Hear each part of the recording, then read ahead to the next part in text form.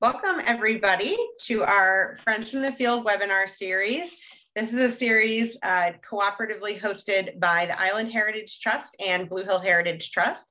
And my name is Chrissy Allen. I'm the Development Director for Blue Hill Heritage Trust. And I'm really excited for today's uh, webinar. We are joined by Dr. Jeremy Jackson and Dr. Nancy Knowlton, as well as Dr. Hans Carlson and Julia Zell. Hans is the Executive Director of Blue Hill Heritage Trust, and Julia is Executive Director of Island Heritage Trust. And we're going to have a little presentation and hopefully a robust conversation about climate change, maybe talking about the new report that just came out and looking at how your two local land trusts are working towards uh, a more climate resilient, you know, peninsula and island and how we're viewing viewing these changes that we're anticipating. Um, I'm going to start by having Jeremy and Nancy give a presentation and I'll give a, a, brief bio about each of them in case you are not aware of who they are. Dr. Jeremy Bradford Cook Jackson holds an emeritus position at the Smithsonian Tropical Research Institute, as well as the Scripps Institute of Oceanography, where he led the Center for Marine Biology and Conservation. He is also a research associate at the American Museum of Natural History.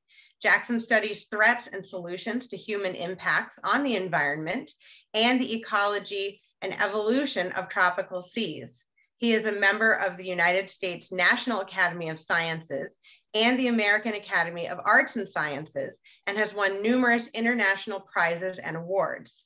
He is the author of more than 170 scientific publications and 11 books, most recently, Breaking Point, reckoning with America's environmental crises and shifting baselines in fisheries, using the past to manage the future.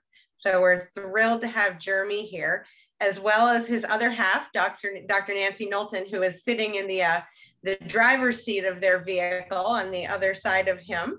And Dr. Nancy Knowlton is a coral reef biologist who spent much of her career at the Smithsonian in Panama, at, this, uh, at the Smithsonian in, in Panama at the Smithsonian Tropical Research Institute, and at the Natural Museum of Natural National Museum of Natural History in Washington, D.C., prior to moving to Brooksville, Maine. She was also a professor at Yale and the founding director of the Center for Marine Biodiversity and Conservation at the Scripps Institution of Oceanography, University of California, San Diego. She is the author of Citizens of the Sea and former editor-in-chief of the Smithsonian's Ocean Portal.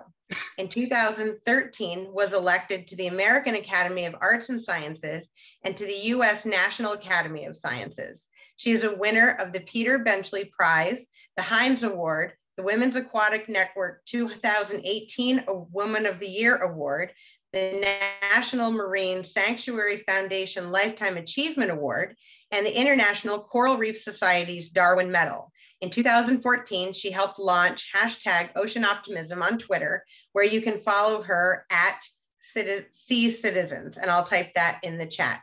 So that's a mouthful, but we've got some real heavy hitters here with us tonight. And um, I will I will let you all um, say a little more about yourselves and Hans and Julia, I'll let you speak about your your own background and bios uh, when your when your turn is ready, because uh, I think most people on here know who you guys are. So uh, without further ado, I'm going to pass it over to you, Jeremy, and let you go ahead and start talking to us all about this fascinating topic. Thank you. Okay, hi everybody. Um, um, I've taken the, the role of just quickly going through the, um, the new Intergovernmental Panel on Climate Change report that came out this year. Um, it's a little bit disappointing so far because it's really only the physical data without um, very much about what it's all going to mean to us in a practical way. Um, what it really has done is told us what we've known for 20 years, um, but with greater and greater and greater, ever greater precision and confidence. And in many ways, to me, the most important thing it shows is in this first slide, which is that the um, the changes that we've observed, not, you know, you, you're probably used to seeing predictions for the future.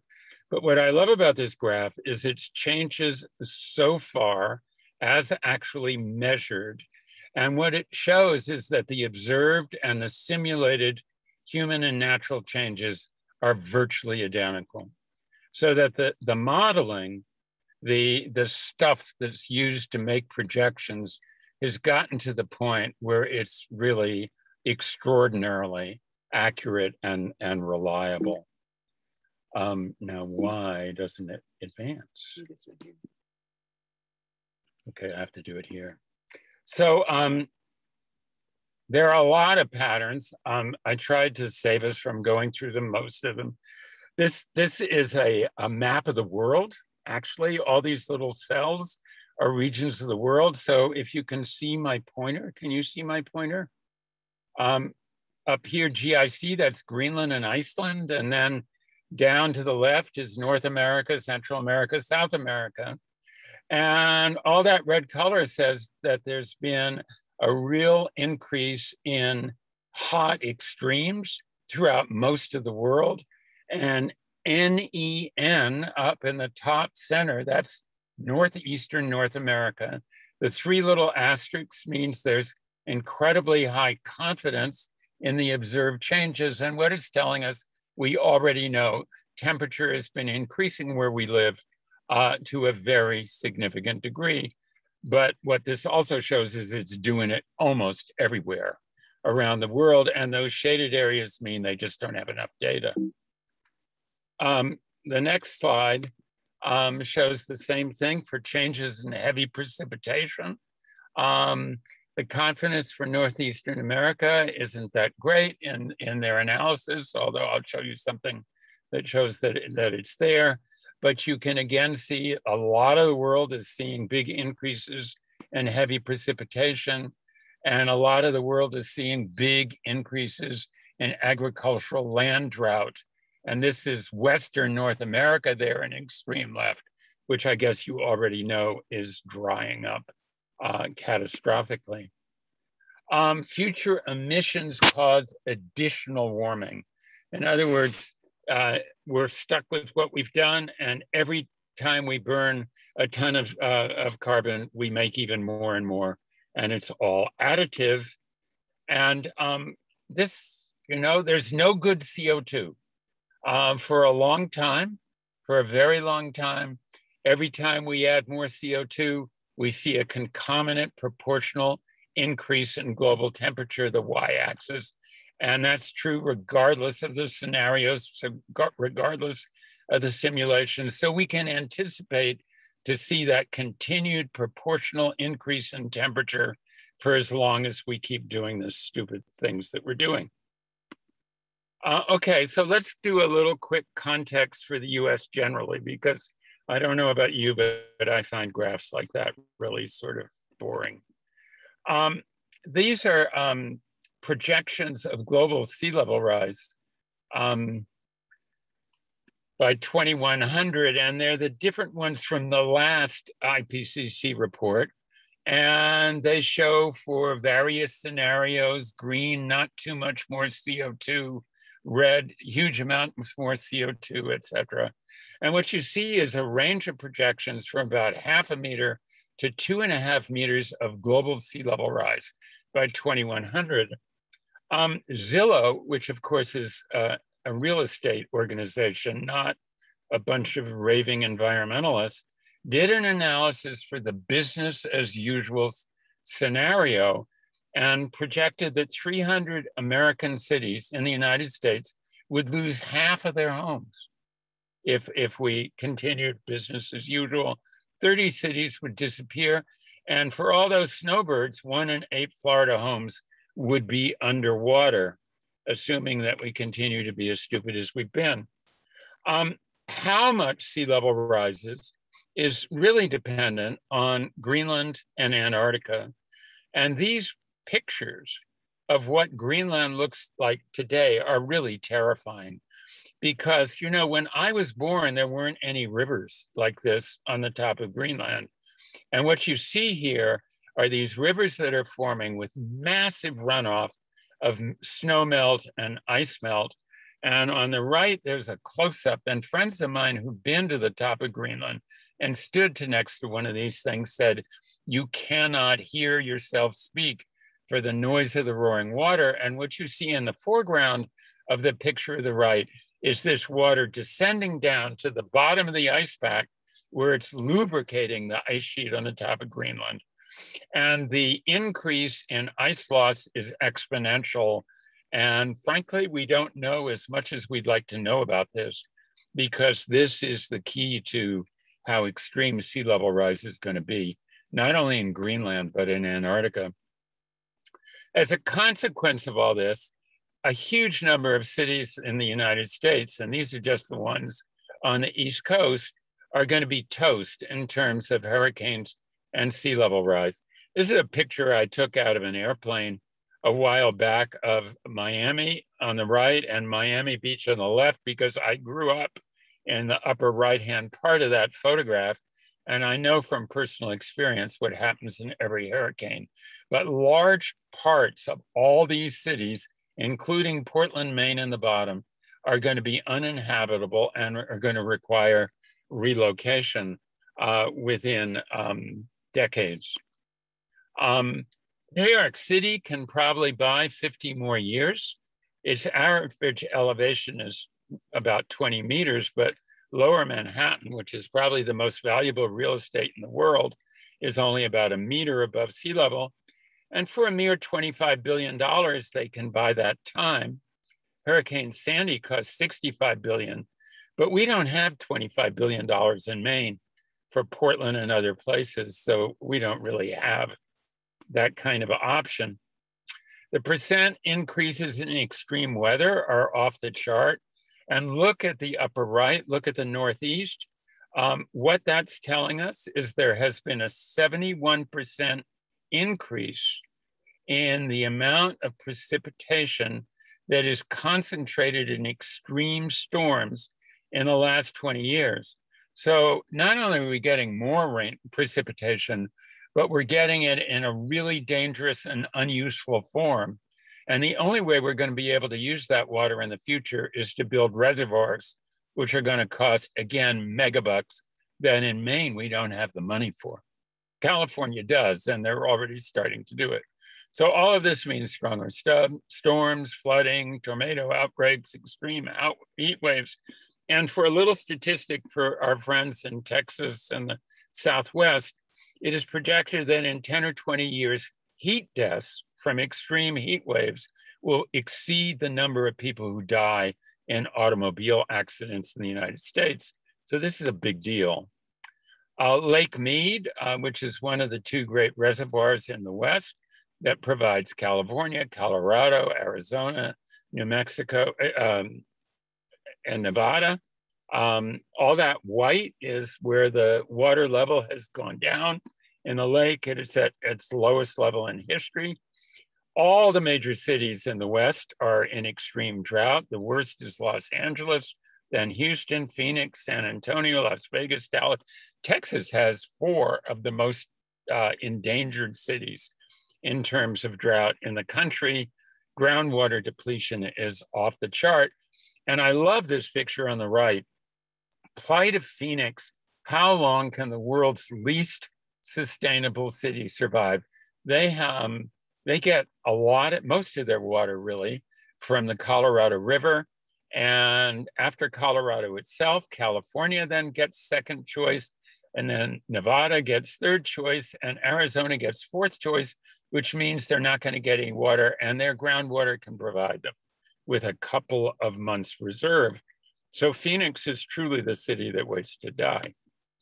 Um, hurricanes are increasing in frequency. This has been a subject of huge argument, but the data now indicate that this is in fact true.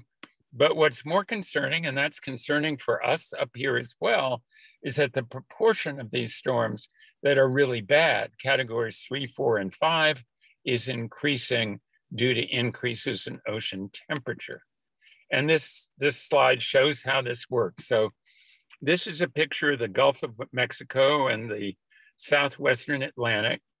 And really red means places where the temperature of the seawater at the surface is vastly hotter than normal, like four or five degrees warmer than normal.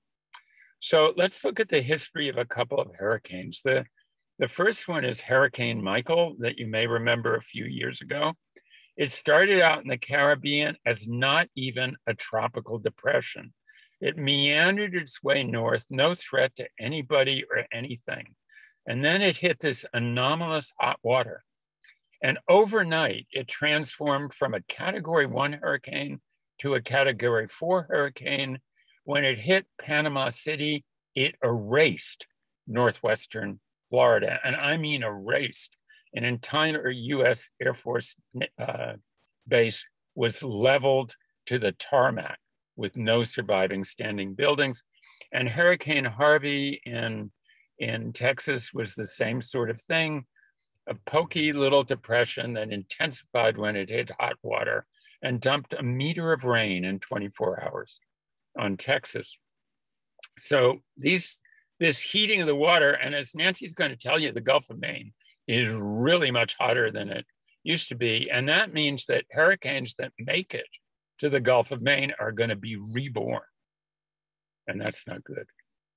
Okay, so very quickly, some summary of the update to Maine's Climate Future Report. If you haven't looked at that, it's a fantastic resource from the University of Maine, always being updated and very informative and user friendly. So I guess as we all know, temperature is increasing and this dashed line, this light dashed line shows you the average increase of three degrees Fahrenheit um, in the last um, 100 years or so, but you can see that somewhere around 1960, the slope of that line is increasing. And so it's getting hotter about twice as fast now as it was before. And you can see here on the right that the highest statewide annual average temperatures are just going up and up and up. Um, and um, you could say, oh, wow, look at this. The growing season is longer. And that's sort of nice. Um, precipitation is increasing. That's what you see in the top, but snow is decreasing. That's what you see in the bottom. You might even think that's nice.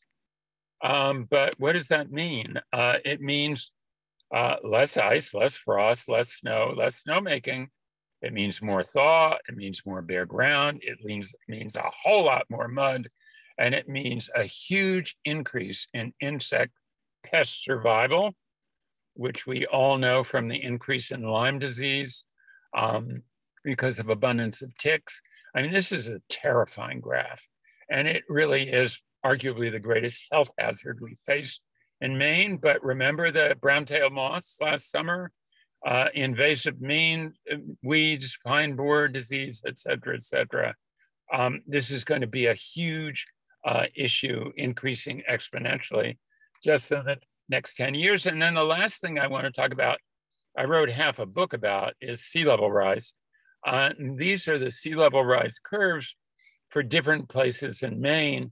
And you know, you look at it, it doesn't seem like a whole lot, maybe a tenth of an inch a year. Um, well, that means in 10 years that that's an inch. You say, oh, well, that's not so important. But then look at Portland in 2018. Because what you have to understand about sea level rise is that every, let's say, foot of sea level rise means that the reach of waves in a storm is going to be 100 yards further inland or even more, which means that little bits of sea, li- sea level rise translate into what you see in this picture of Portland. And we're going to see more and more and more of this. The road that leads to my house three years ago uh, had breaking waves over it with seaweed dumped on top of it. And in order to get to my house from South Brooksville, it's going to be necessary to build a bridge in 10 or 20 years. And this is going to be multiplied everywhere.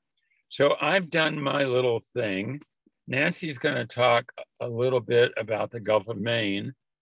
I'm going to mute myself. I got to stop sharing my screen.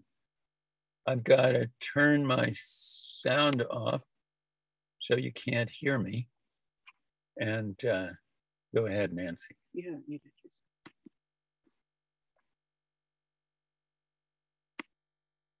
All right.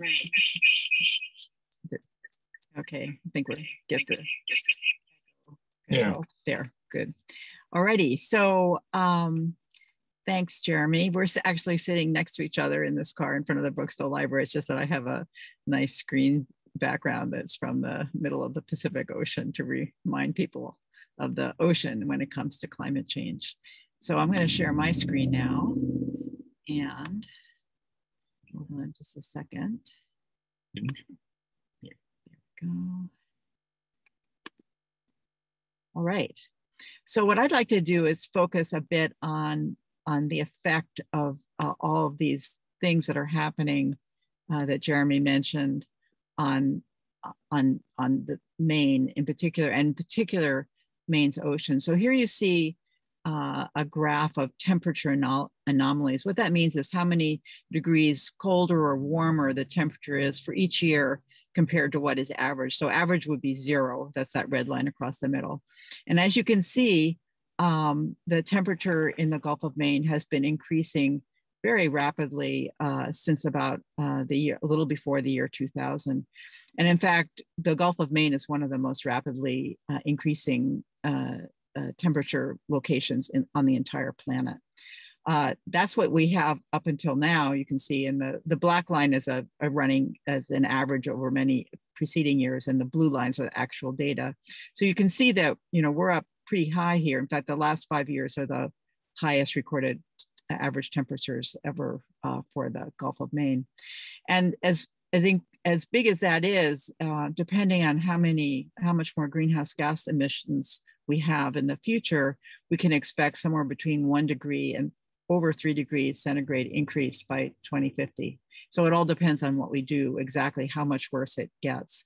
Now you think, well, what's one degree centigrade? That's about 1.8 degrees Fahrenheit uh, three degrees centigrade is, I mean, is is close to six uh, degrees Fahrenheit. You say, well, that doesn't seem like that much. Of course, you get that much of change in a day, but think about. I think it's more effective to think about it in terms of, you know, what would our bodies feel like if our own temperatures went up by 1.8 degrees uh, Fahrenheit? We start feeling pretty ill.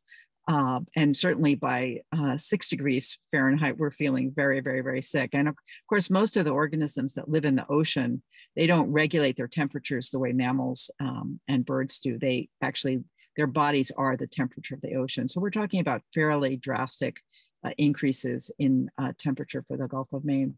So this, it's not just the temperature that changes, the temperature change creates a lot of other changes. So um, both the surface water and the bottom water are going to get warmer, but we're also going to have more heat waves. And that's important because sometimes the worst damage is caused not by the average temperatures, but by these heat wave events, which uh, boost the temperature way above average. And those can have really catastrophic effects. Uh, the salt, the saltiness at the surface is going to decrease because of all the melting ice to our north, but the saltiness on the seafloor is going to increase is going to actually increase. The mixing of the water is going to decrease. And that's important because deep water brought to the surface brings a lot of nutrients. So if the water, be, if the layers become more uh, stable and strong, it's harder for those deep water nutrients to get to the surface. And then finally, one of the other things that carbon dioxide, which is creating all these other changes, does is it actually dissolves into the seawater. seawater. In fact, the planet would be a lot, uh, the air would be a lot warmer if a lot of the carbon dioxide had carbon dioxide hadn't dissolved into the ocean. But that changes, on the other hand, changes the chemistry, and it makes it much harder, for example, for organisms um, to lay down their um, skeletons and a lot of other different effects. And so, um, so that's what's happening to the ocean. And perhaps not too surprisingly, there are a lot of things happening to the organisms that live in the ocean because of this. And here are just two examples from really the last month of news. One is uh, what happened to puffins this year, uh, really catastrophic impacts on the puffins because of the warm uh, water. About 90% of all the puffin pairs fledged no chicks whatsoever. And all the uh, puffin chicks that did uh, survive were about 40 to 50% smaller. They called them like micro puffins. And uh, this is clearly has bad implications for the future of puffins. The other thing that's happened, this is a story just from the Bangor Daily News a couple days ago, is that invasive crabs are wreaking havoc on the Maine coast. And this was a really interesting story about how citizen science and particularly high school students are tracking these invasions. Now, in general, if you want to sort of stepping back and think about what, what's happening uh, to Maine sea life, there, there are a couple of things that are going on. Uh, first of all, in, in general, uh, organisms are moving north and they're moving deeper because that's where colder water is. So that most species try to stay in a place which is what they're best adapted to. So if the water gets warmer where they are, they move somewhere where it's closer to what they're best adapted to and that's northern more northern waters or deeper waters. So as a consequence and you've probably read about this right whales are moving north. It's making it much harder to manage the impacts on right whales and they're having a they've had a very bad um, set of reports a lot fewer white whales now than there were 10 years ago uh, in contrast to what had been going on before, where their numbers were actually slowly increasing. Uh, cod numbers and lobster numbers are expected to decrease. Puffins, as I mentioned, are expected to decrease. Some species, of course, those that come from more southerly waters are going to increase here locally because they're also moving north. So we're likely to see more squid and more sea basses. Now, as I mentioned, diseases um, are likely to increase and, and invasive species like green crabs are likely to increase. Uh, things like bivalves, that, that is oysters and mussels and clams, are likely to decrease. And that's because some of these crabs eat them, and also because the changing ocean chemistry is making it harder for the clams to lay down their shells. And then salt marshes are likely to decrease simply because as the seawater gets higher and higher due to sea level rise, if there isn't a place for them to migrate, which is the case in, in many situations where human settlements are right there on the coast, essentially they enter a place called a called a coastal squeeze, where they really squeeze out of existence because they have nowhere uh, higher up to migrate to. So those are some of the impacts on Maine sea life. And now I'd like to say a few things about what we can actually do because it's really, it can sometimes be, um, uh, it, it, feels almost self-defeating to simply talk about all the effects and then not uh, say anything about what what we should be doing in response. And, and essentially, there are four things that we can do. And these involve both individual actions and collective actions. Uh, and I think it's important to remember that there's things that we can do individually, but also by creating uh, policy changes uh, and, and, and groups of people working together, there's a lot we can do in the power of numbers as well. So the first thing we need to do is reduce local stressors. And um, in the case of the ocean, that means uh, reducing destructive fishing and reducing pollution. And the reason that matters is because a lot of the damage that has occurred to the ocean actually started happening well before climate change became a big issue and would still be a problem. And so, just like when you're trying to uh, get your family finances in order. If on the one hand, there's some big bill you can't do anything about, what you do is try to reduce your other expenses so you're better able to cope with that big bill. The same thing is true in terms of ocean conservation. Reduce all the local stressors that you can. The second thing we absolutely have to do is, of course, reduce climate change itself. And that means reducing greenhouse gas emissions. And it also means working to sequester carbon because uh, plants uh, use carbon dioxide and and when they turn that that carbon dioxide into roots and wood and things like that they kind of they trap it they take it out of the atmosphere and trap it and so it can't heat the planet anymore. And i think you'll hear in the subsequent presentations a little bit about the role of forests for example in carbon sequestration. We need to build resilience. That means uh, having uh, coastal infrastructure that is able to deal with the climate change that's already built in that we can't do anything about.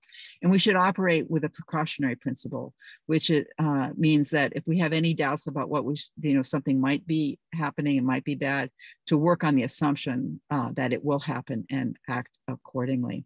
And then finally, a really important thing to do is talk about what is happening and what can be done and is being done. Uh, uh, this is it, this is the power of our voices is uh, our voices both in terms of our spoken voice and our votes is uh, really substantial and that's a big part of addressing climate change And so here are just a few examples from Maine uh, along those lines. Um, one is uh, the four-year climate action plan that has been uh, recently in, uh, unrolled, which includes a 45% reduction by 2030. It's a very ambitious goal and 80% by 2050. Uh, there's been a big build out of uh, charging stations for electric vehicles. Jeremy and I own an electric vehicle. Um, we really appreciate the charging stations on the main turnpike. We need more when we went to get our vaccines, we had to go to Presque Isle initially because of vaccine supplies, and we actually had to rent a gas car at the Bangor International Airport because there was no place to charge our electric vehicle heading north. So that's there's there's room for more, uh, but we're at least moving in the right direction. And then, of course, there are all these innovations, lots of small startup, innovative young people. An example on the right is the idea of using kelp um, like as I mentioned, forests can sequester carbon and trap it. The idea is to grow kelp and then sink it to the seafloor where, where it too will trap the carbon dioxide. Those are just a few of examples. Uh, there are many, many examples in Maine and I urge you to find out about them. And then finally, here are two uh, recent resources that talk about not how bad the problem is, but what we can do.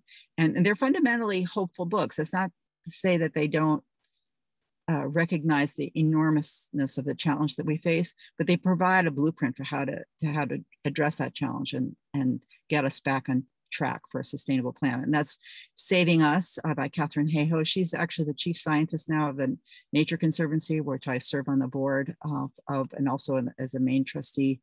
And uh, she's a very uh, distinguished climate scientist, but also a great science communicator.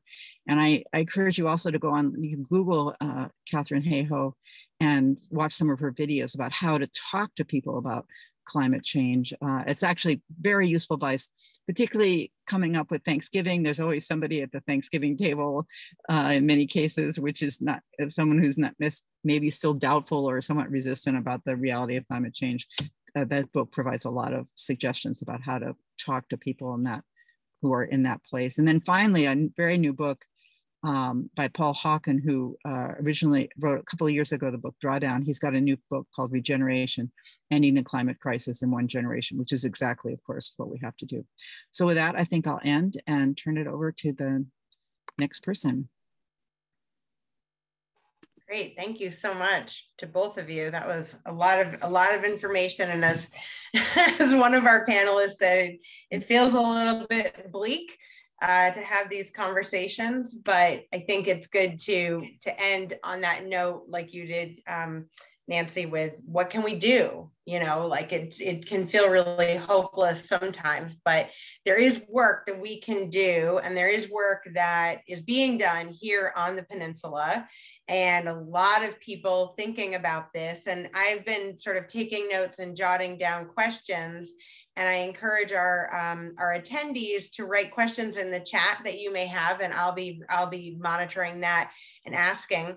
Um, uh, but first, I'm gonna I'm gonna toss it over um, to our two land trust executive directors to hear from them about how your land trust is really being informed by the the research that's coming out and the information that's coming out about climate change and the the sort of changes that we're going to be facing we're already seeing here but that we're going to be facing more and more on the peninsula uh, not just with the effects of climate change on the landscape itself, but with the development pressures, things like that um, that are coming along. So I'll uh, I'll t- I'll toss it to Julia first. Sure. So, you know, I think both Nancy and and Jeremy touched on this a little bit, but I mean, so many of these problems feel so huge, and here we are in, you know, Blue Hill Peninsula, Deer Isle, Maine. You know, what can we do locally or individually? Uh, because so much of what needs to happen needs to happen on a global scale. And Hans actually um, spoke to this when he um, responded to the report back in August. I was looking at that the other day again, and um, and I think one of the things that keeps coming up for me in discussions with our board, our committees, our, our stakeholders, our members, our community members is so much of what we can do is be a conduit uh, or, or bridge builders, um, perhaps literally and figuratively.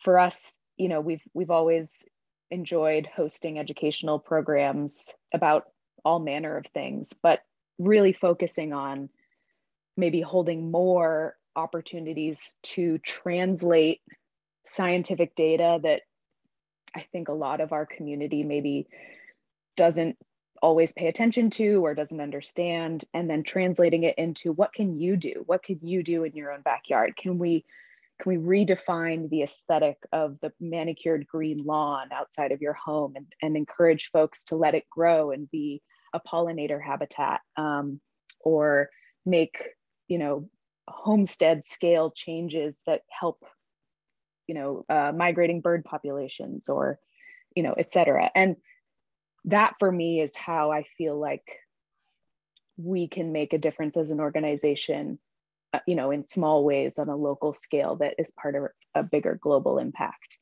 And i i am not a scientist. I'll be the first person to admit that. And so i look to folks like nancy and jeremy and um, you know some members of my staff who have more expertise on this. What can we do? What is what is the the science telling us? You know as jeremy said at the very beginning this report sort of tells us what we've already known for some time. But take that and how can we you know take action even even on a small scale.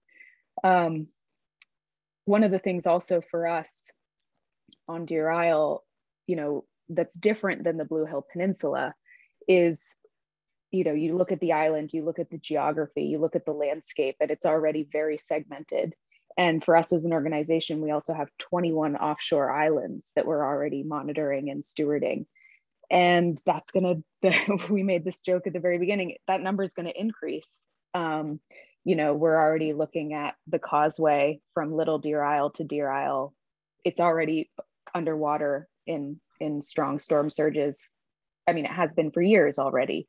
And we as a land trust actually own property uh, on sort of multiple sides of that causeway. And actually, you know, I, I know that Jim Fisher and the town of Deer Isle is talking with Maine DOT and other relevant partners about what's actually going to happen there. I don't know details, but our properties might end up needing to be a part of you know how are we going to make sure that we can continue to have emergency services and resources delivered to our community? How do we make sure that the socioeconomic impact of that going underwater isn't devastating?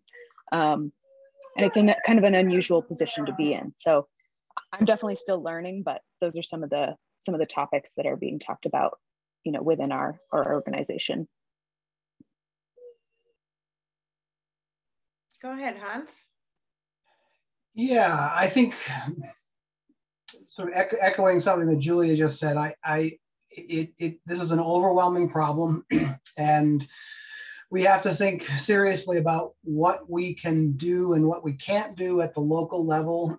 um, you know, obviously, this this problem is a global problem. It's going to require global action. It's going to re- involve major policy change, major economic change, um, all of which has to happen at a level far above anything that happens on the Blue Hill Peninsula or on the islands. That said, um, there are there there are a lot of actions that we can take, and I think action action's important um, in a couple of different ways. Um, there are practical effects of action, but as Nancy pointed out, um, action is a way of growing hope as well, right? And that's you know this this our, I think one of our biggest dangers here is growing hopelessness. That there's you know that we just can't do anything about this. Um, I, I think what we are really doing in the conservation world is rethinking what it means to do conservation, um, uh, particularly nonprofit conservation, um, which traditionally has been about buying and holding land and, and offering recreational opportunity and, and um, protecting habitat. Um, and really what conservation is going to have to mean going forward is all of those things, but, but also um, actively working on our land to do the kinds of things that Nancy was talking about. Um, you can protect a forest and sequester carbon. Um, you can, in, in many respects, manage a forest um, for increased carbon sequestration capacity, and that's going to be really important. Um, I think we as organizations need to think carefully about resources that are going to become scarce. Um, uh, you know, we live in a water rich state, and we are talking about these extreme water events that are happening. Um, and yet we live in, and we conserve land in areas on this peninsula and the islands, which are not water rich. Um, and that's a, that's a limiting factor that we are going to have to think carefully about. So, thinking about groundwater, thinking about wetlands that recharge groundwater um, and how those get protected. Um, I think thinking of different ways that we can use our land, our conservation land in other ways. Um, we'll throw one example out. Blue Hill Heritage Trust is leasing some of its land, an old gravel pit actually, to a company which is developing a composting facility. um, and, and, of course, rotting food matter is one of the biggest and dumbest um, um, greenhouse gas emitters um, on the planet. Um, so we can do things, you know, we can we can act in that respect.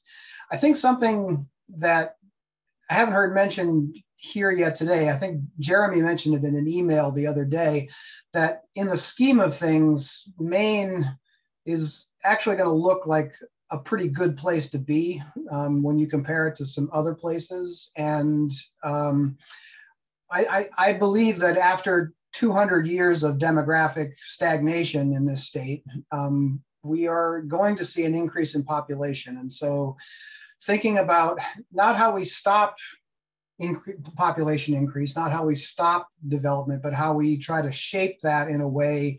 Um, I think we have an opportunity here to build as we as as things build on this peninsula to to work to build them in better ways than they've been built in other places that are that are more durable, more sustainable, whatever word you want to use for it. Um, so that, I think there's a there's a role for that in in uh, in private conservation. Um, it's not our it's not ours alone, but it is ours to work in collaboration with towns and other organizations to try to to find solutions to to these problems. Um, so yeah, I, I, I as Julia just said, we're sort of feeling our way in the dark here a little bit, been trying to find the tools that we need to rethink this, this issue. Um, um, and yeah, and there are, there are, there are definitely things we can do. Um, and, and we need, and we need to do them here at, we need to do them here in our locality and have hope that other people are doing them in, in their localities as well and and then hope and pray that the politicians um, do what they're supposed to do as well. Go ahead, Julia. And Hans, to, to, to piggyback off of that, something that I was also thinking about recently we both of our organizations also work with local school children and while that's sort of maybe a longer term game or not game but um, the impacts of that are not necessarily going to be immediate but i know that we both both our organizations do that and work together sometimes to to really try to make a robust um, sort of supplemental environmental education for for local school children around here. And one of the things that came up recently when i was speaking with our educator and, and some folks at iht is you see these kids out on these preserves and they just have this sense of awe this sense of wonder at at the at this place. And it, maybe it's beauty maybe it's bugs maybe it's you know whatever they're taking a look at. And i think one of the other things that we as a land trust with public preserves and trails and providing access that we can do and that i think we found through this pandemic is offer an, an opportunity for adults to rediscover that sense of wonder and maybe also recharge mentally and emotionally and physically in these beautiful places and maybe stave off that hopelessness. Yeah. Um, and I think that that's it's kind of hard to quantify and it's not so concrete, but I know I've heard folks say, thank you so much for protecting these places so we can get outside and enjoy them and remember just how much this world and this, you know, this place means to us. So I think that that's, I, you know, sort of goes without saying sometimes, but that's one of the things that land trusts in general, I think uh, continue to provide and it's it's really critical. And and maybe trying to find further ways to talk about that and actively encourage it um, is is one of the things that we've been talking about as well. Kids are kids are hugely it's such an important thing. It's it's one thing to you know at 58 years old to look at the next 20 or 30 years of change. It's it's it's scary enough but from you know from the viewpoint of my 14 year old or somebody else's 10 year old it's it's it staving staving off hopelessness for them is even even more important yeah absolutely Nancy, you brought up the importance of sort of talking about this and helping to, you know, educate people and talk about this. And I know since we're on that topic, um, I'd love to hear everybody's thoughts on sort of really good models for talking about this and educating either the adults in the room or the the next generation of voters and leaders um, and you know what we've all seen work and what our strategies are or what we've seen really not being a good tactic for that sort of thing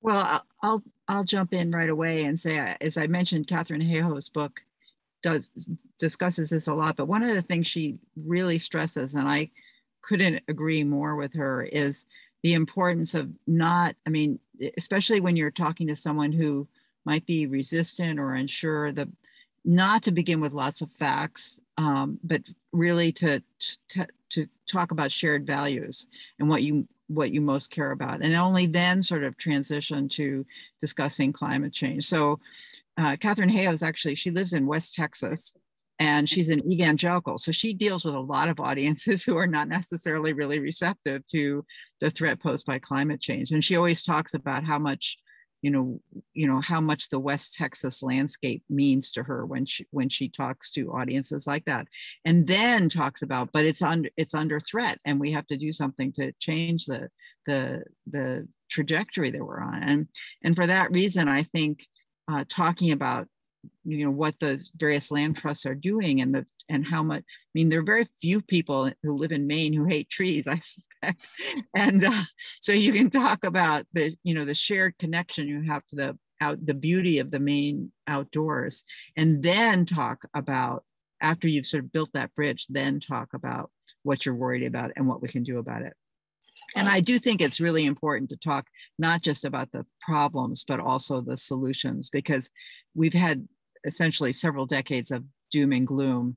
And it, in some ways, it hasn't really moved the needle. But talking about the successes, what's working, um, I mean, the increase in renewable energy possibilities with a drastic drop in in prices of uh, solar and wind energy. Also, there are all sorts of things that are actually working well. It's just that we have to do more of it and we have to do it faster. I want to come back to what Julia said um, about education, because I think it's a very fertile and important ground. And I've done, um, I've taught for a few years until the pandemic at the elementary school in Brooksville. Um, and we've done field trips, for example, about sea level rise, where we all get in the school bus. And then we drive around Coastal and Bagaduce Road and I let them show me where um, they're going to need to build a bridge soon or raise the road. And um, I've also taught at George Stevens, uh, I guess about half a dozen times now, and they are extraordinarily receptive to discussions about climate change. They find the the usual dialogue pretty depressing. They they want to be engaged. And I think for both your organizations, it's something um, that you should really continue to be involved in because, I mean, I get feedback from the teacher I do it for at George Stevens, and I get emails from the students. And, you know, this is extended to things like the relationship between climate change and the pandemic and the local Maine environment.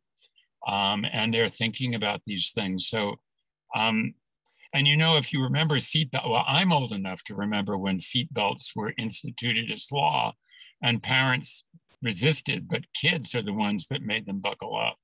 Yeah. So that um, they are in effect a mole for getting to the parents um, through their enthusiasm. I, I just think it's super important, and and I got to tell you, I love doing it. It's it's so much more enjoyable than the scientists I deal with on a regular basis. That's great. Well, I know, you know, for the for both of our organizations, educational outreach has over the last, you know, five to seven years really exploded in not just in the community, but in the local schools. And um, I can speak on behalf of our outreach coordinator, Lander Nesbitt, who has been working really diligently with the schools for the last couple of years. She has the same experience that you've had, Jeremy, where the kids are really hungry for this information and they're on board. They really, they really care about it. They're and um, They're yeah, scared. they're like they Greta are. Thunberg, they're scared, but it's really important to be Socratic. It's sort of like what Nancy was saying. It's really important to let them tell you.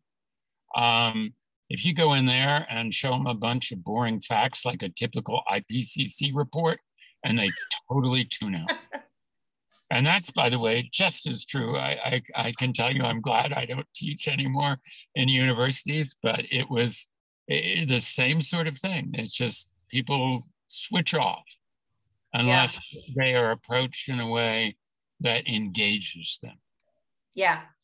Well, I think, Julia, you guys are seeing a lot of success in sort of talking about these environmental and climate issues on the island. And, you know, with a lot of these kids whose parents are involved in the fishing industry, who are seeing the effects of climate change in real time and seeing it hurting their industry. What sort of things are you hearing from Martha about that?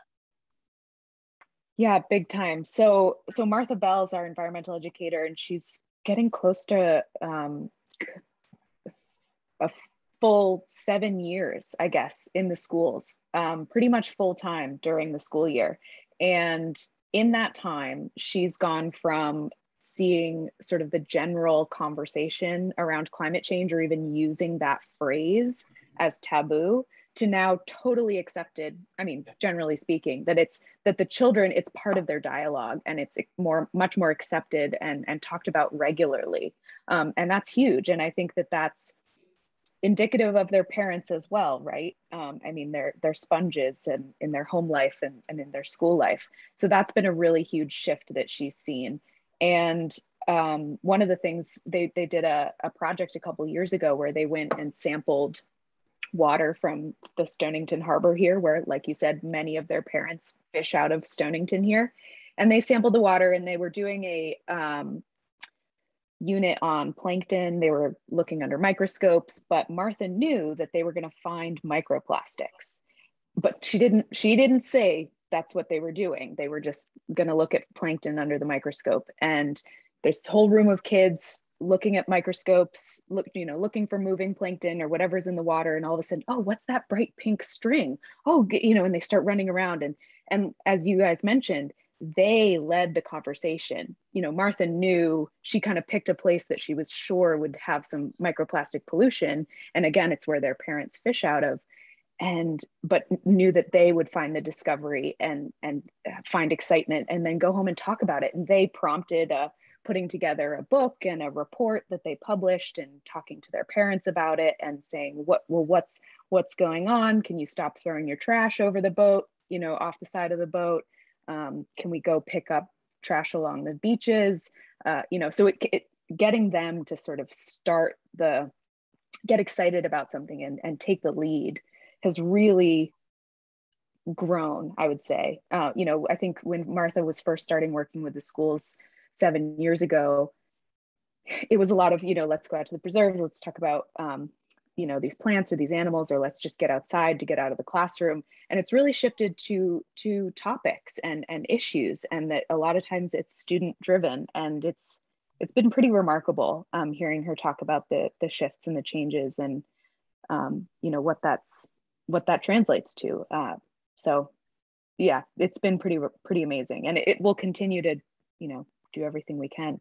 And actually now seven years, I mean, Martha mostly works with middle schoolers, but they now she's taught folks who are now young adults and and lobstermen themselves and it's real you know you start to see that come full circle that you know people that she's got to work with and and you know hopefully now are making their own impact on the industries here and, and the community here. So definitely that's a big thing that I know both of our organizations will continue to do.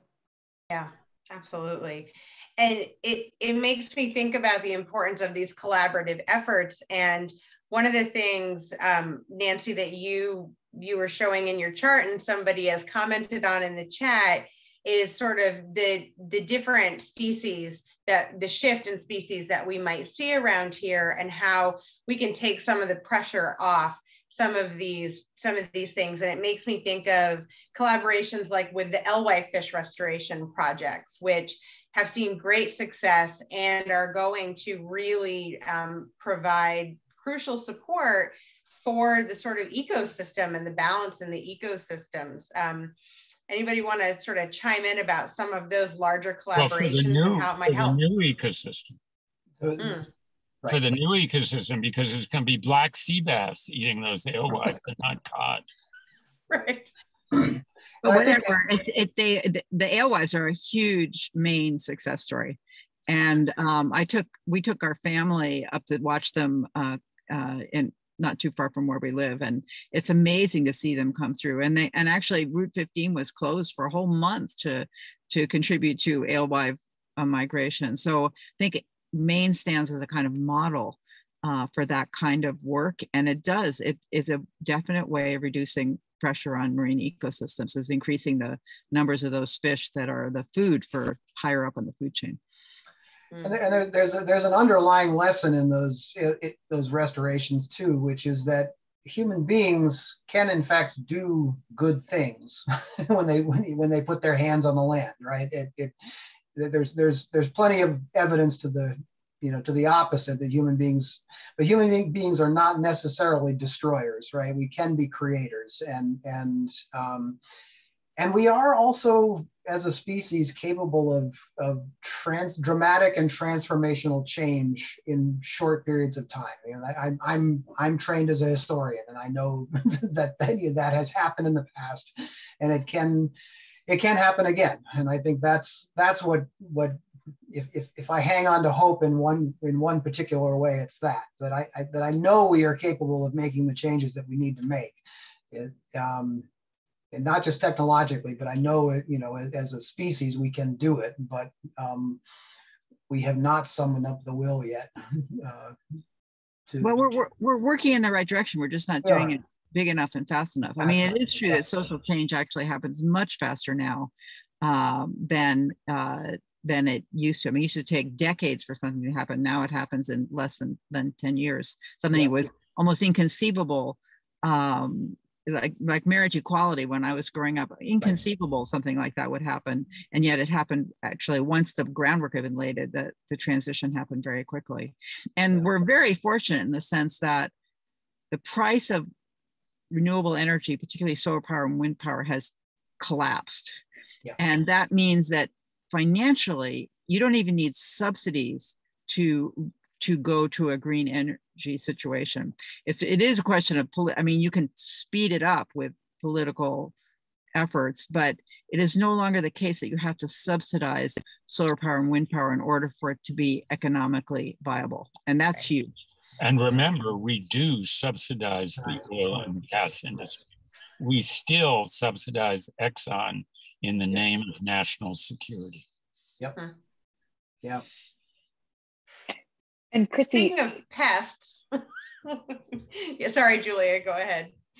Oh no, just generally, just a quick comment that I think partnerships, collaboration, community partnerships, like certainly our two land trusts have worked together, but but branching out beyond that, you know, with uh, for us down or you guys too, Maine Center for Coastal Fisheries, um, you know, Department of Transportation, like we're we're going to face with our causeway and and you know many places around here, but just I think will reach more people and maybe have a greater impact uh, when we're able to to partner up with relevant um, entities and and you know hopefully make further strides. So I think that's just generally a, a, a something we're looking to always open to you know working with other folks to have a greater impact.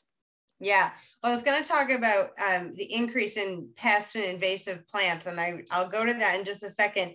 But that makes me think, Julia, about you know some of these pressures um, that we're thinking about that we're gonna we're gonna see in light of these changes are not just on development. If Maine is going to become a place, as Jeremy said, with a bigger growing season, a longer growing season, and we are losing the breadbasket out west, it's drying up. So is Maine going to also see its resources being tapped harder for producing food to feed not just Maine, but to feed the country? And how are how is that going to change for us? I know that Hans has been involved with the Northeast Forest Network, which is working really closely with American Farmland Trust and thinking about the sort of Northeast forests and landscape and what do we need to do to prepare for this, not just for carbon sequestration, but for food production and things like that. Yeah, yeah. In, in, in addition to the, the, the vision for conserving forest land throughout New England, there's a there's a, a parallel uh, um, document that's the New England Food Vision, essentially that that is that looks very carefully at, at what New England can produce for itself, and you know, and we're obviously we're never going to produce all of our food for ourselves here. We could we could be producing a whole lot more of it than we are now, and I think the challenge with climate change is going to be um, farmers finding ways of controlling microclimates um, in order to take advantage of the longer growing season um, and mitigate some of the effects of, of, of extreme weather. Um, so farming is unlikely to look like it has for the last 150 or 200 years um, uh, in New England.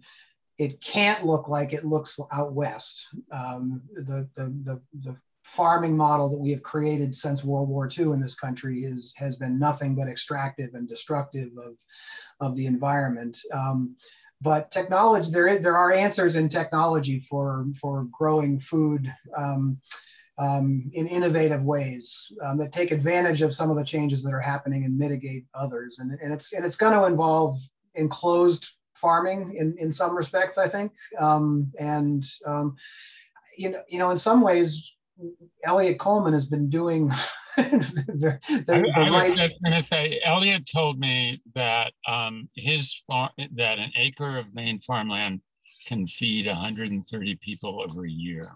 Yeah. And in, in terms of all they need. Um, in terms of enclosed farming, there's something called AeroFarms, an abandoned steel tubing factory in, in uh, New Jersey is producing all the, the greens that a 130 acre well managed farm can do. Yeah. Um, the train has left the station in terms of the declining role of California.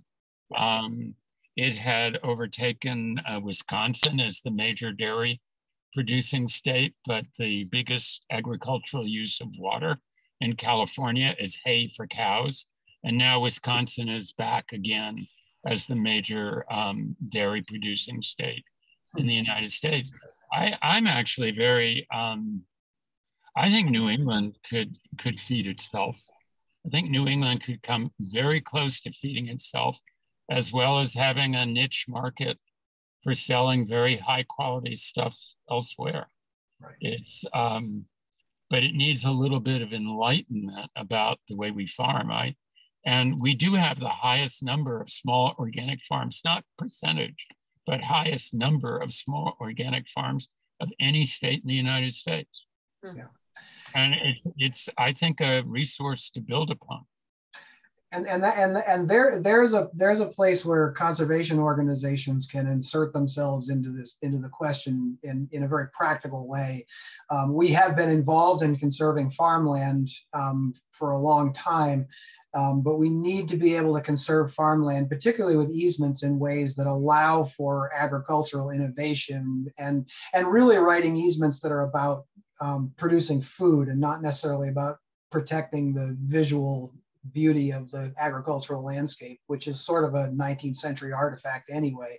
Um, but um, protecting farmland, protecting the places where we can grow food um, is tremendously important um, for us to, to prioritize and think about.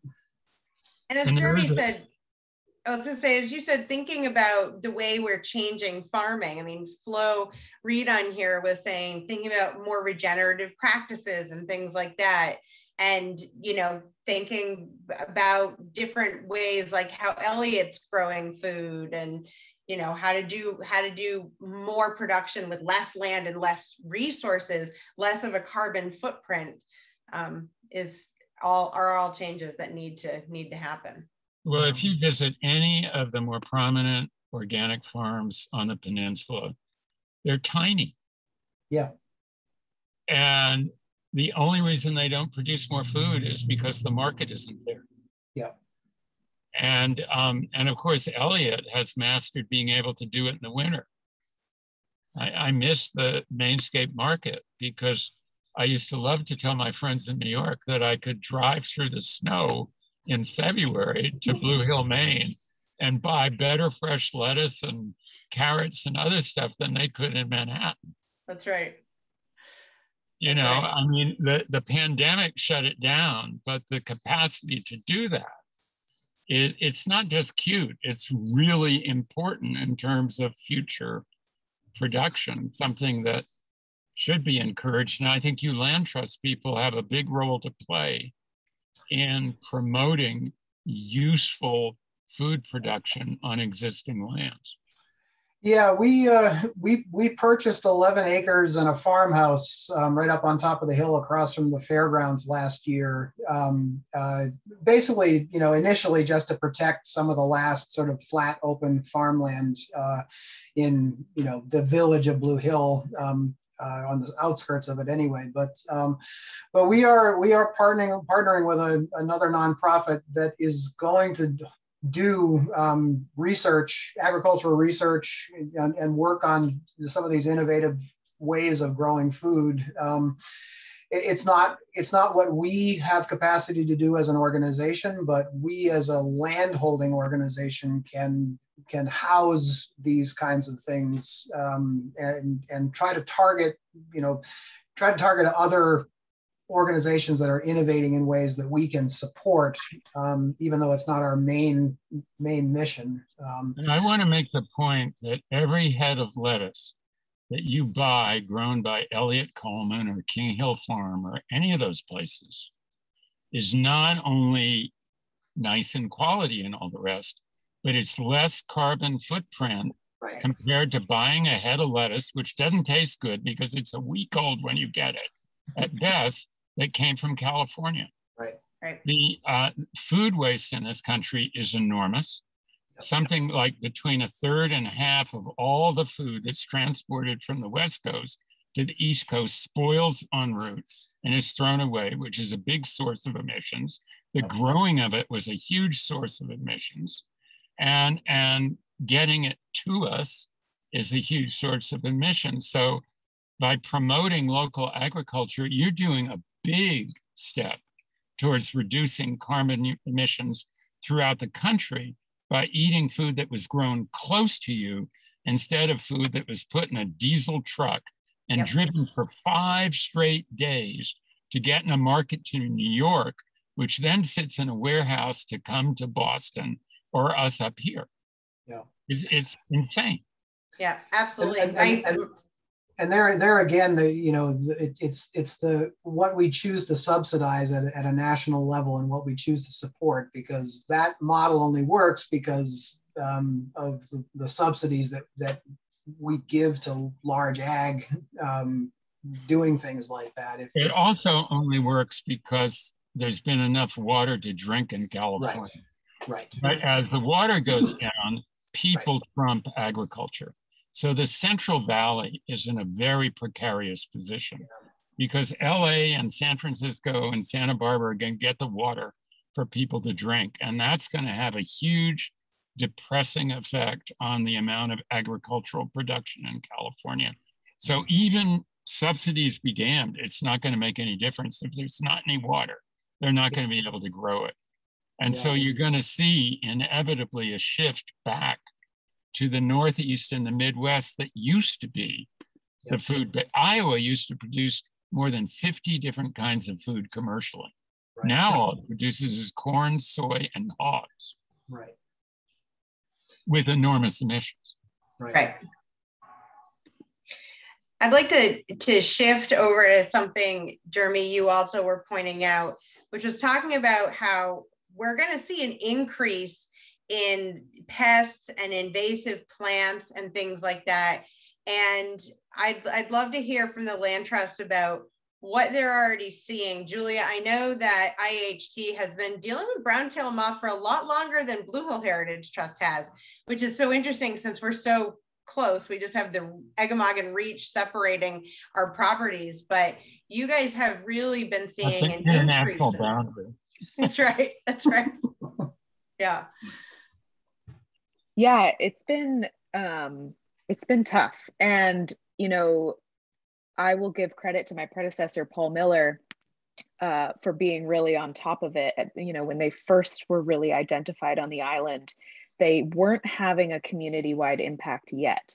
Um, most folks didn't even really know what they were. It was already bad down in Brunswick, Topsham area. Uh, you know, who's to say exactly what happened? You know, we have a lot of shipping in and out of Deer Isle with the lobster industry. Um, and, you know, I mean, pests, animals, plants move around in various ways. probably some sort of human connection or birds or whatever. But they showed up uh, actually on Little Deer Isle um, and and sort of you know the top of uh, North Deer Isle first, and we noticed them on our property, Scott's Landing. Uh, we have a little um, kind of pull out at the on the Little Deer Isle side of the causeway, and noticed them in you know the hawthorns, in uh, fruit trees, um, in the alders. Anyway, they. It, it was clear that it was going to become much worse. And we started to try to do outreach almost right away. And the first year we had, you know, folks who were already interested in IHT came out and said, "Oh, good to know." And then just a year later, they were coming to us saying, "Oh, can we borrow those pole pruners?" So we did a lending program, the clip and hold pole pruners, or or we had folks who were willing to go help if somebody was elderly and couldn't do it themselves, and you know would go knock on their neighbors' doors and say, "Hey, I I just clipped my my, my webs, and I notice you have some too, and it's you know not going to make much difference if unless we both take care of this." And and by this past summer, uh, really the entire island, you know, even folks who didn't know that IHT had been talking about this for a couple of years really actually felt it personally, experienced it.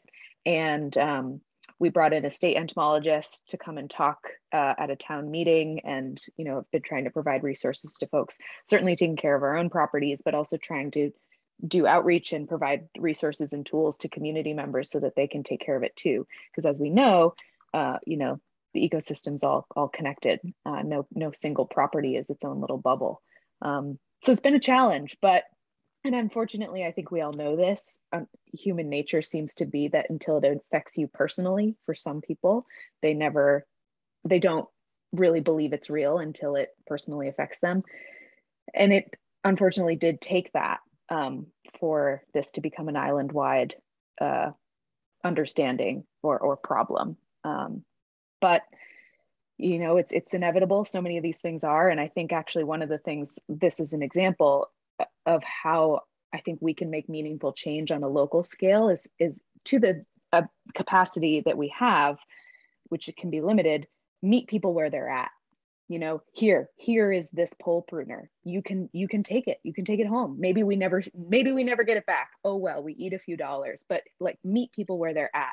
Try to really give them the tools that they need to make you know homestead scale or, or you know small personal individual scale changes that help the entire community. So that was that's kind of an example for us. Yeah. and then take take this moment where people are getting mm-hmm. very uncomfortable because yeah, exactly. said, it's, a, it's a major threat to our health. Right. I mean, brown-tailed moth is a great example. That's a very real thing that we can use as an educational moment to teach about about climate change and about these effects that we're going to feel. I think so right. often the climate change can feel very abstract to people until, like you said, Julia, it becomes personal be careful about climate change though and brown tail moth. Because you know it was a huge problem a long time ago. Yeah. and then it retreated to just outer cape cod and one other place and we blew it and we didn't wipe it out when it was located.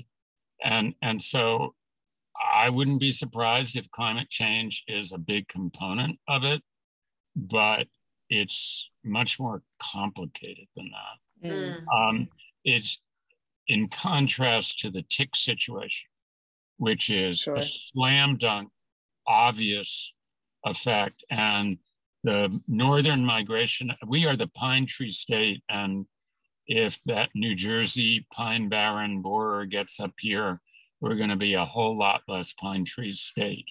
And those things are clearly um, climate change related.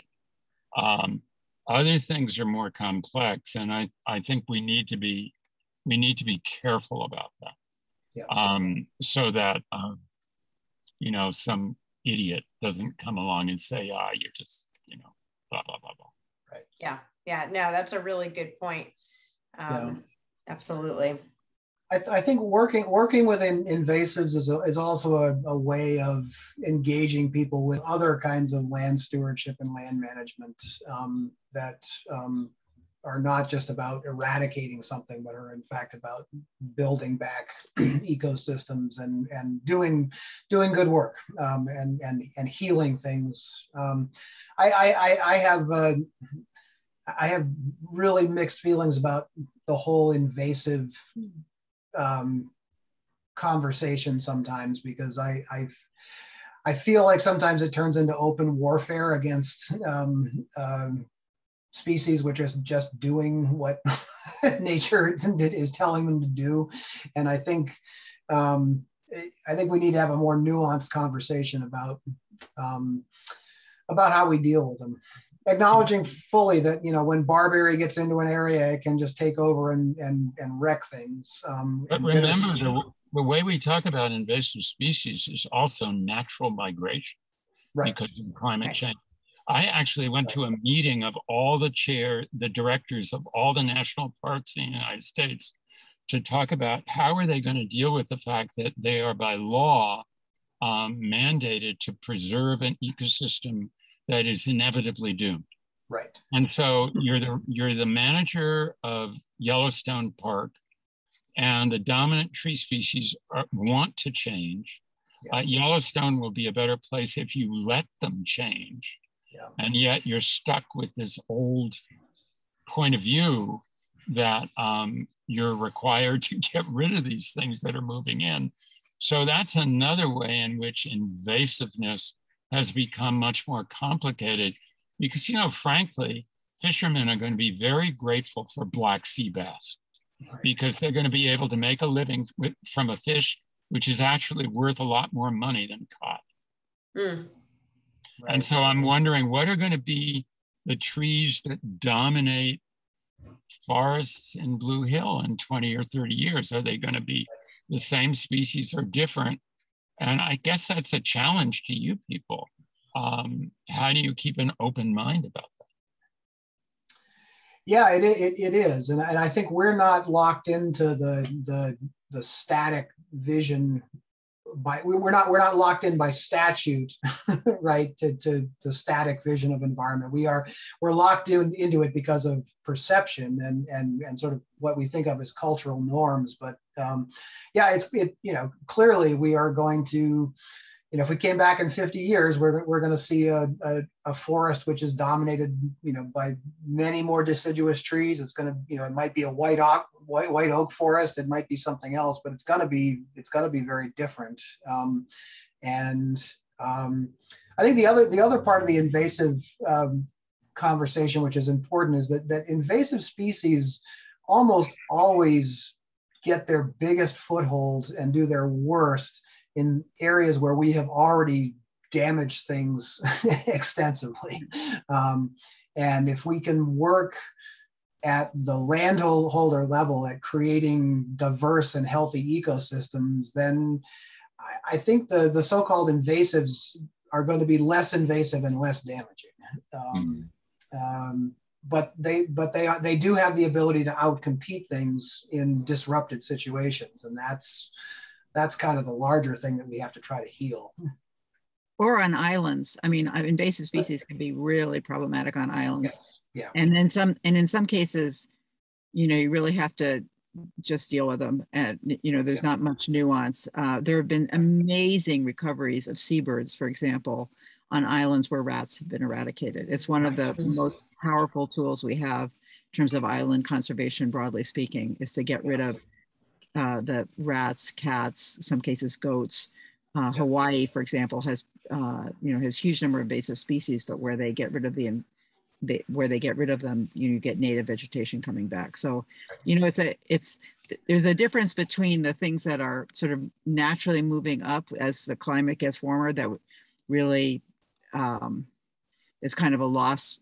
You know, for, we should be reducing climate change, but we have to accept the. I mean, some of it we have to just accept because it's already baked into the system, versus you know really human transported. Right. Uh, introduced stuff. Sometimes you do have to get rid of. So they're not all in the same kettle of fish, so to speak. Yeah.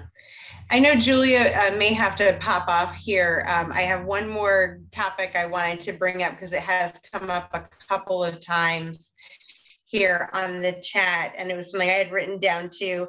I'd love to talk a little more about carbon sequestration and what's what's happening. I know that's something um, both of you talked about, and it's it's a market that is changing. Carbon sequestration credits are changing, and I know Nancy discussed the idea of kelp farms.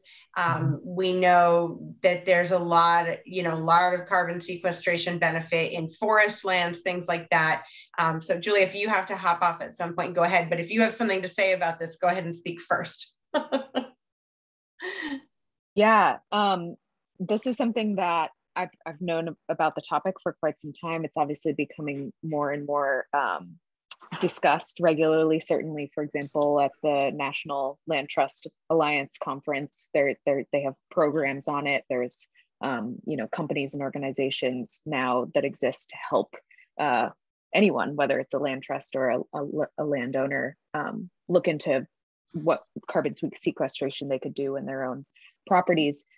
For us on Deer Isle, um, you know, we, I, I, mentioned this earlier, I, I would love to see us do more in terms of maybe it's not traditional land conservation. Maybe we're not going to get you know the the bulk of the sort of undisturbed or, or undeveloped forest on Deer Isle, for example, is tons of spaghetti lots and weird, you know, strange subdivisions or or or there's you know a few large landowners but it's so you know messy so to speak that it would be really hard to conserve it under our traditional practices of either taking something in title ownership fee or in conservation easement. Um, so how how can we work with communities with community members to um, manage woodlots. Uh, you know, it's that are still socioeconomic, but also, you know, understand that they could benefit um, the, you know, the environment and also maybe their their pocketbook by doing carbon sequestration. So I'm not exactly sure how we fit into that yet. Um, I know here on the island where our boundaries are very visual and defined by the ocean, it's it's complicated. It's a super complicated discussion but I think we're going to have more success at that discussion if it's not about us acquiring the land in some way in one of the traditional fashions, but in partnering with uh, with folks on on talking about what they could do with their land, and and you know understanding that it's part of the bigger conservation picture of this community of this landscape. I you know don't have the answers for that now, obviously, but that's that's how I imagine us working uh, you know, on that sort of scale here, just because we don't, like I said, our borders as an island are very visual and clearly defined and shrinking. Um, so it's it's complicated to say, oh, we're going to go acquire, you know, hundreds of acres of forest uh, down here. It's it's a little different, but and actually one of the topics we're talking about too is um, trying to do some forestry management on the islands, the offshore islands off of Deer Isle, which are small. You know, it's not landscape scale, but they do they are really critical ecosystems to seabirds or migratory birds or other um, you know, the, the fisheries that surround them. And so that's an interesting challenge that we have as well, that we're just sort of trying to figure out what that might look like for us in the next 10, 20 years. Great. Yeah, I will say that um, carbon sequestration, uh, carbon credits, as they're called, is it's actually a really complicated topic. Um, and um, Nature Conservancy, which I'm I I serve on the boards, does a lot of work on it. Um, you have to be um, really clear about what's called additionality, which means that um, that in order to get a credit, it can't be just to to keep land that was already protected protected. So it has to be what extra are you doing? Are you restoring the land? Are you managing in a way that increases the amount of carbon sequestration? Or are you buying land that would otherwise be converted to say a parking lot? So you have to be there's and I think all the major conservation organizations are you know working through a very quickly changing landscape, but there's no question that done properly car the carbon credit market can provide really important financial resources for conservation. But it's but and, there's been a lot of sloppy carbon credits, and so I think you know five years from now, I think the the whole situation will be a lot clearer in terms of standards and and also pricing of course of carbon credits is going to change a lot i suspect in the future as well and and the the, the technology is changing quickly too um, even in the last five years so before i came to maine one of the last things i did before leaving connecticut was to put a california arb project on 6,500 acres um, of forest land down there. And um, at that point, 6,500 acres was about the minimum size that you could do a carbon project on because of the, the technology really of, of, of surveying the forest, of, of inventorying the forest. Um, and those levels have come down dramatically to the point where, you know, you can, you can aggregate even 50 acre parcels um, onto a, a, property, but you're absolutely right about the, the management aspect of, of uh, the forests. Um, sequestering carbon in trees standing on the ground is one thing. The other important part of it is managing your forest so that when you do take product out of your forest, you are taking quality product out that will then get turned into something which continues to sequester the carbon um, in the product as opposed to you know getting pulped up and or you know.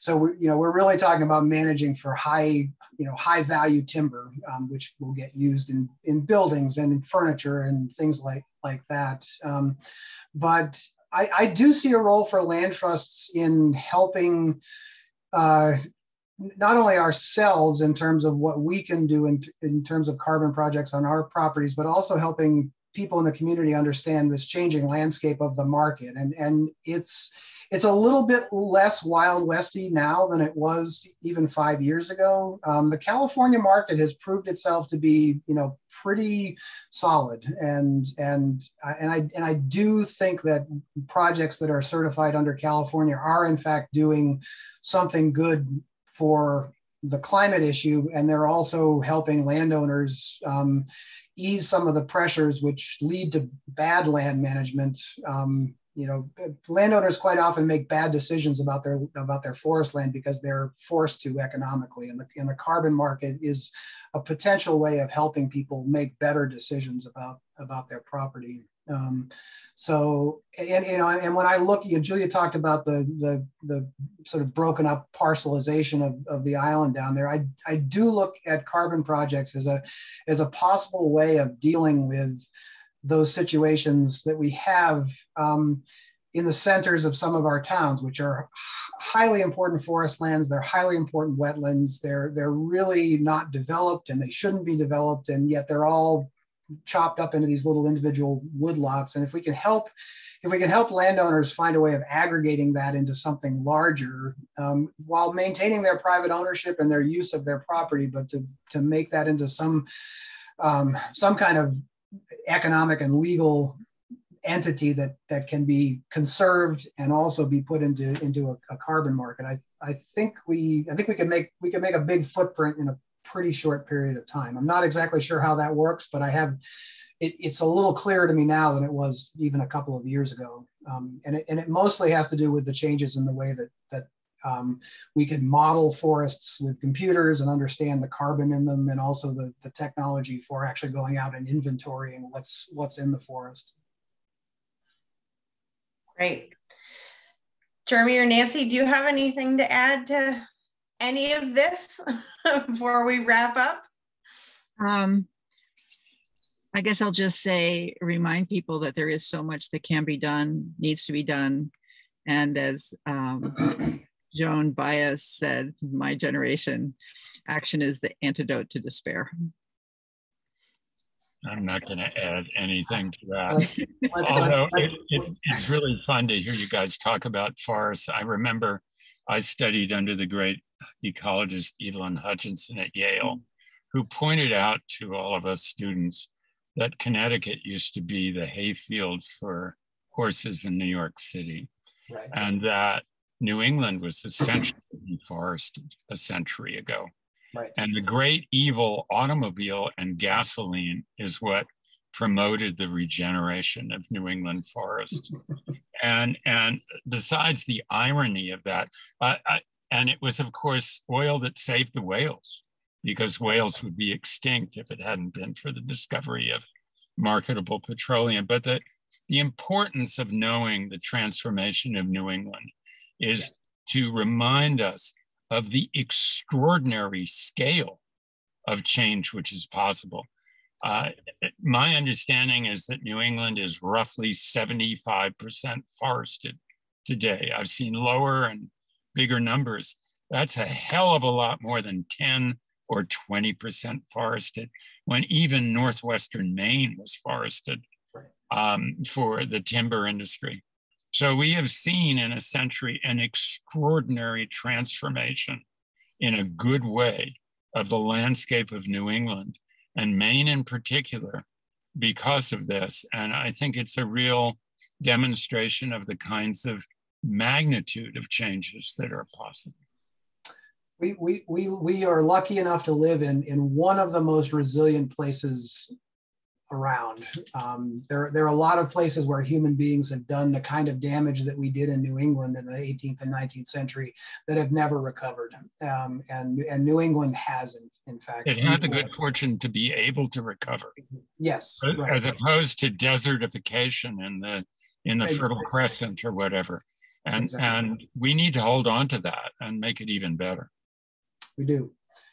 And it's and it's worth it's worth noting that 20,000 acres a year is, is being converted of forest land is being converted um, in New England and lost um, to, um, to to development, and that's something that we absolutely need to stop um, and we need we need to protect the, the, the, this this is one of the key forests on the planet um, when you put it in the in the context of the whole northeast and we need and we need to protect it. And you know it's very it's a very interesting moment right now also because of the growth of the infrastructure for renewable energy and how you balance that. I one of the most frustrating conversations i've been having recently is that it's so much cheaper to cut to put solar panels on land where you cut down the trees than it is to put on rooftops and parking lots that almost has to be a policy change. There need to be incentives so that the least destructive forms of renewable energy are installed. Because we have to have renewable energy, but we should do it in a way that that is additive to our forest lands, not subtractive. That's right. So, so, so J- Jeremy mentioned that Connecticut was the hayfield for New York City, and, and the development of the automobile allowed reforestation. And, and something else to remember is that the, the automobile was also looked at as a pollution control device because all of those horses were burying New York City and every other city in, in horse manure. And, and that, was causing, that, was that was causing health problems. And, and all of a sudden, this wonderful thing, the internal combustion engine came along and it cleaned up the streets and everything was great. for, for, a bit of humor, for a bit of humor, I can't recommend more highly a book with the wonderful title Heartbeats in the Muck the history of New York Harbor by John Waldman. It's actually a brilliant book. Oh. And in that book, he describes the, the horse pollution and the unhealthiness of the East River, yeah. which is absolutely appalling. Yeah. Um, and, and, you know, as a dyed in the wool New Yorker who transplanted to Maine, I'll, I'll tell you, I'm it it it's a hell of a lot better now than it was when it was full Right. That's why, that's why all the rich people came to Maine in the 19th century to get away from that in the summertime. Yeah. That's great. All right. Well, I think we'll we'll call this a wrap. Uh, Julia and Hans, thank you so much for sharing what we're doing. I'm going to give a big plug uh, for folks to support their local land trust if they uh, if they want to be a part of action uh, towards climate resiliency and mitigation. Uh, you have two great local sources right here in this region, and we're so grateful to Jeremy and Nancy for joining us sharing their expertise and just really helping to get this incredibly important information out there. Thank you both so much for your time. This was really terrific. Uh, it's Yes. great Thank, to do it. thank you, everybody. Our pleasure. Yeah, Thank thank you all. And thank you, Chrissy. You bet. All right, Okay. we're going to end it now and we'll get this out there uh, out there shortly. Have a great night, everybody.